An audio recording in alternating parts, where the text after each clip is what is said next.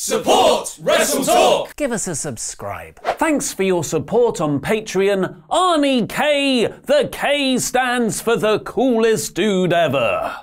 AJ Styles turns heel and reunites the Bullet Club in WWE. Two major NXT stars debut on the main roster, and the Raw stage has been potentially destroyed. But we'll be right back after this match restarts.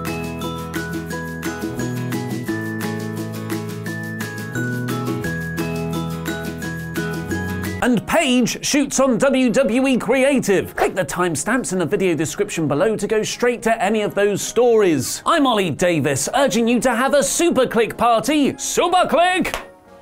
By giving us a subscribe, pressing the thumbs up button, and answering our question of the day in the comments. What do you want to see from Paul Heyman booking Raw? Because I'll be replying to people from out of nowhere. And click that eye above my head to give your rating of the show, where you can choose from Rawsome, Core, Average, Poor, and Rawful, as I review the 1st of July episode of Monday Night Raw. After a rivalry that's seen arm wrestling contests and tug of war battles, Braun Strowman and Bobby Lashley opened the episode in a Falls Count Anywhere, but mainly before every commercial break match, which quickly saw Braun spectacularly tackle Lashley through the LCD screen, causing the whole set to black out and setting off the last few years of pyro WWE have been storing up. WWE are literally now chucking ideas at a wall. It was so shocking, Corey Graves said holy S word, and later on, Michael Cole uttered a term even more non PG hospital. But this was a genuinely amazing visual and a wild start to the episode, particularly how they held on one static shot backstage for ages with no commentary, for Braun and Bobby to eventually be stretchered off, where, for even more realism points, Strowman didn't flip any ambulances. After that settled down, we got the Viking, don't mention the war experience! Raiders versus the New Day for a few minutes before Samoa Joe attacks Xavier Woods, meaning this match will be restarted after this commercial break.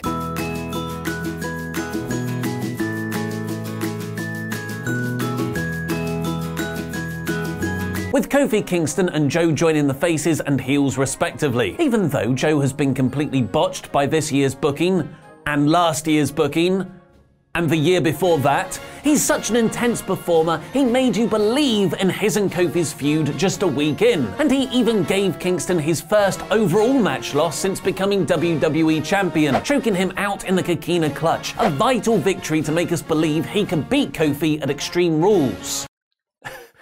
Drake Maverick finally took his blindfolded wife on their honeymoon to reveal it's just backstage at Raw, where she gave him the ultimatum of it's either her or the 24 7 title. Cue a series of skits of R-Truth taunting Maverick for choosing his wife like a loser until Drake Maverick snapped at the end, hit Truth with his luggage, and regained the 24 7 championship. Then we got Mean Charly Caruso badly segueing from how in demand the 24 7 title is to the WWE main roster's latest debut also being in demand. Come on, Buddy Murphy, please finally be Buddy Murphy, the current NXT Tag Champions the Street Profits. Stop doing NXT wrong! Angelo Dawkins and Montez Ford proceeded to cut a charismatic promo and then later butted in on Charly's interview with Paul Heyman to do the same. Despite this episode somewhat feeling like a soft reset of Raw, it unfortunately wasn't resetty enough to rid us of the Omnishane.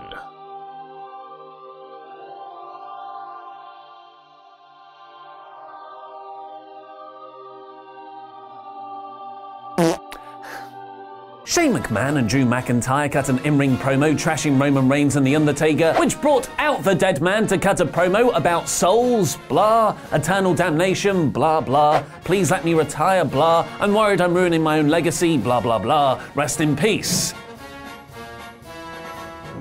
From one mid-card vortex to another, Lacey Evans took on Natalya with Baron Corbin in her corner. Lacey and Baron's in-ring styles are actually quite similar. Their individual spots are quite cool. It's the long stretches in between that drag. Baron tripped Natalya to give Lacey the win. Elias and The Miz both got a fall each early on in their, yep, you guessed it, random 2 out of 3 falls match for The Miz to win overall. There are a lot of fools in WWE now, and Miz and Elias sadly might be two of the biggest. Trapped in a repetitive series of matches since WrestleMania as just a proxy for Reigns and McMahon. Then, if Raw wasn't weird enough already, WWE put on the oddest part of the show. In a stilted backstage promo with Caruso, actual real life couple Becky Lynch and Seth Rollins continued to show no on screen romantic chemistry, where they awkwardly bantered and smiled about their relationship's power dynamics, which I presume Seth eventually won by just bringing up his bank account. Smash that glass ceiling, Becky Lynch! But really, the top two champions in their respective divisions on Raw was just a backdrop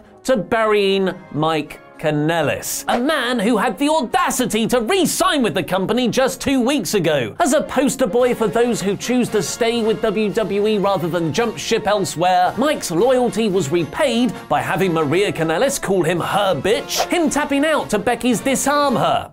Or disarm him disarm person in their following intergender tag match, and then Maria fakes she's pregnant to stop Lynch beating her up, which Mike got really excited about, until she told him he's not man enough to get her pregnant. Maybe she should get the man Becky Lynch to put a baby in her next time. This was fascinating, in a way that drunk people having sloppy shoving fights is fascinating, in that it's perversely entertaining, but ultimately rather sad. Alexa Bliss and Nikki Cross continue to play out their tired story that ruins one of their characters in a Moment of Bliss segment next, which turned into Carmella rolling up Alexa in seconds and then Nikki beating Carmella. This is a terrible storyline, but the main event and the night long story building it up was genuinely really well told. Building off AJ Styles criticizing his former Bullet Club partners Luke Gallows and Karl Anderson for not taking themselves seriously enough, Anderson flipped it around this week and stirred the pot between AJ and Ricochet. AJ's insecurity and rash decision making, which is a long term part of his character, no matter how many times they seem to drop it, prompted him to challenge Ricochet to another match, but this time for the US title, which they both agreed upon with the age old show of respect slapping each other in the face. They got the main event spot, continuing WWE's build of Ricochet while Aleister Black feuds with a cupboard, and AJ shockingly won with a phenomenal forearm just a few minutes in. Ricochet's foot was under the ropes though, so this match will be restarted after the commercial break.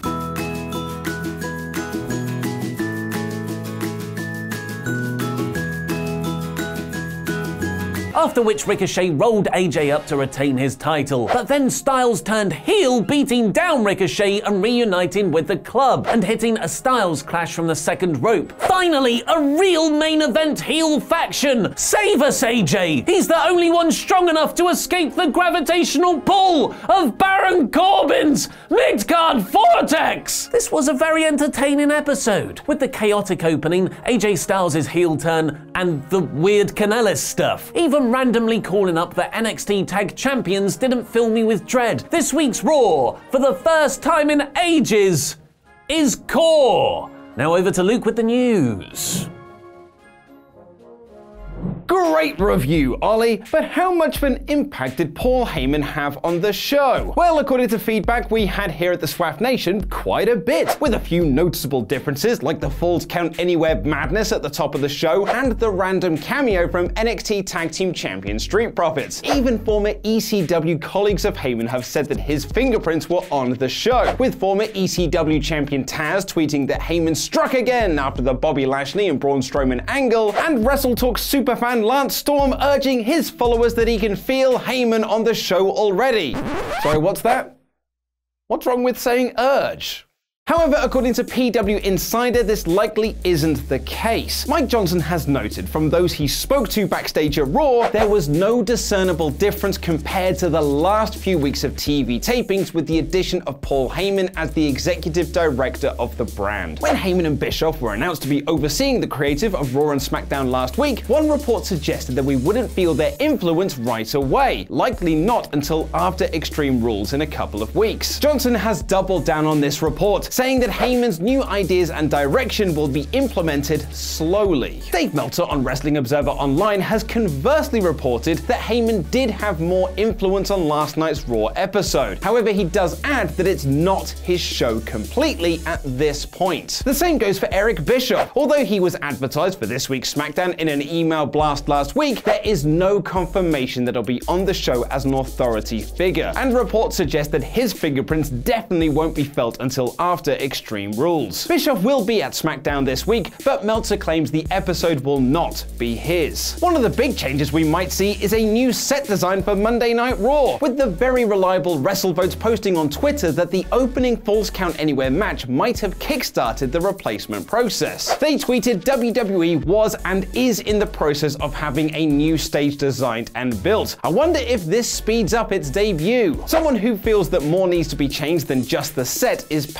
You know, it seems like every week in 2019 has seen a different name crop up in the Wrestle Talk news about their frustrations with WWE creative. From Jon Moxley tearing into the creative process on Chris Jericho's podcast, and Luke Harper publicly tweeting about his frustrations and desires to leave WWE, along with a slew of names who also have reported backstage grievances. Paige is the latest name to join this list, recently being interviewed by British tabloid and purveyor of lies The Sun to promote the home entertainment release of With My Family. During the interview, she was asked about her tag team of Asuka and Kairi Sane not being used on TV much since their debut after the Superstar Shakeup. And she said, if we don't get used, I get really frustrated because we're a good tag team and we need to be utilized. Sometimes the writers have so much on their plate with everyone else's storylines, they put things on the back burner. I have to remind them, okay, but there is a women's tag team title. I'm like, what the hell, dudes? Let's make something happen. She does however, that in WWE it's just a case of speaking to the right people. She added, It frustrates me, but once you actually get to speak with Vince McMahon and Triple H about your problems and frustrations, they're always the first to say,